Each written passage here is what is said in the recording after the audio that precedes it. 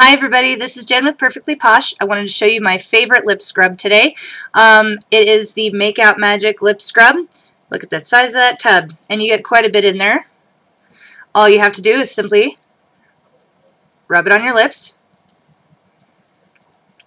Let those oils sink in. It's got shea butter in it, uh, almond oil, all kinds of really great stuff. Sugar, and you can lick it off makes your lips super soft, and it moisturizes too. So it's great for like those really dry, windy days. This is perfect thing to keep in your purse.